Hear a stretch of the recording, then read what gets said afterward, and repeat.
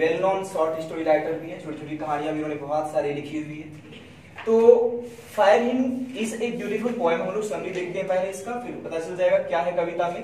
और जो कल नहीं पढ़े थे उनको भी समझ आ जाएगा कि कविता का डिस्क्रिप्शन क्या है क्या है, किस बारे में है यह कविता। तो fire hymn is a beautiful poem composed by Keki N Daruwalla Keki के द्वारा, केकी के द्वारा रचित जो है बहुत ही सुंदर सी कविता है। ही गॉट साहित्य अकादमी अवार्ड इन 1984 1984 ईस्वी में इन्हें साहित्य अकादमी अवार्ड भी मिला था। और एक और अवार्ड का ज़िक्र हुआ जो हमने यहाँ पर नहीं बताया है, एक कॉमनवेल्थ अवार्ड है ना? ऐसा कुछ करके द कॉमनवेल्थ अवार्ड है एक और। वो भी ध्यान में रखिएगा। He is also a well known short story writer होगा यहाँ पर। शॉर्ट छूटा हुआ है, आप इसको इंक्लूड कर लीजिए short story writer in the present poem इस कविता में, प्रस्तुत कविता में the poet tells about a burning ghat वो डिस्क्रिप्शन जो विवरण जो किया गया है, किसका किया गया है? ए बर्निंग घाट का। Burning ghat he refers to shamshan ghat. यानी ये वैसा जगह जहाँ पर डेथ बॉडीज को जलाया जाता है। बाद में लिख लीजिएगा, पहले समझ लीजिए। फिर देखिए नेक्स्ट पैराग्राफ ये पहला इंट्रोडक्शन था कविता के बारे में। इसे किसने लिखा? उन्हें साहित्य अकादमी अवार्ड मिला 1984 में। वे एक शॉर्ट स्टोरी राइटर के नाम से भी जाने जाते हैं। आप इस कविता में किस बारे में बात कर रहे हो बर्निंग घाट के बारे में। चलिए, अब कविता का क्या डिस्क्रिप्शन है, क्या रेफरेंस है, उस बारे में देखिए। The poet describes the story एक कहानी को बताते हैं। डिस्क्राइब मतलब वर्णन करना या बताना। When एक जब वंस एक बार he went for a walk वो जब एक बार टहलने गए थे, घूमने गए थे विथ हिज फादर अपने पिता के साथ। द इंसिडेंट टुक प्लेस यह घटना कब हुई थी? ट्वेंटी ईयर से वो, बीस साल पहले। जब वो कविता लिख रहे हैं, इससे लगभग बीस साल पहले यह घटना हुई थी। Since the poet was a child उस समय क्या था? कभी एक जो है छोटा सा बच्चा था। देन तो he could not understand the view of burning fingers हमने बताया था, कविता के अंदर कवि ने वर्णन किया है, बताया है कि वहाँ पर आधी जली जली अंगुलियाँ भी थी। बर्निंग घाट, चूँकि शमशान घाट है, वहाँ पर डेड बॉडी जो जल रही है, कोई आधा जला हुआ है, कोई पूरा जल चुका है। तो उन्होंने जब देखा इस दृश्य को तो वो कुछ समझ नहीं पाया, आखिर आधी जली अंगुलियाँ क्यों? ऐसा क्यों? उसके मन में बहुत सारे सवाल थे, जो उसने अपने पिता से पूछा।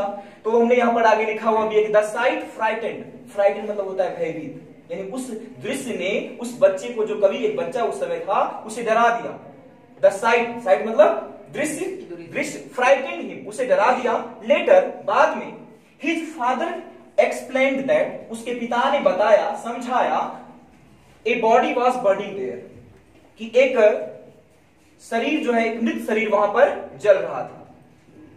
The way the author has describe the cruelness of fire the way जिस तरीके से द ऑथर हैज़ डिस्क्राइब कवि ने वर्णन किया है द क्रूएलनेस क्रूएलनेस मतलब जान है क्रूरता कह सकते ब्रुटलिटी भी एक वर्ड इसके लिए आता है। क्रूरता ऑफ़ फायर जिस तरह से आग के क्रूरता का वर्णन कवि ने किया है इज़ एप्रेसिएबल एप्रेसिएबल का हिंदी नहीं, यदि आपको पता है तो नोट कर लेंगे। प्रशंसाजनक होता है। या प्रशंसनीय। प्रशंसनीय। सराहनीय कहिए, प्रशंसनीय कहिए।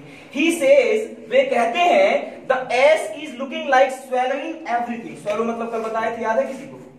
नहीं, यहाँ रहता ही स्वैलो मतलब निगलना होता है। हमने लिखाया द द द से द पोएट सेज या he says the ash is looking like rakh ऐसा लग रहा है, मानो स्वेलोइंग एवरीथिंग कि वो सब कुछ निकल रहा हो अपने अंदर। He never forgot that sight वह उस दृश्य को कभी भूला नहीं।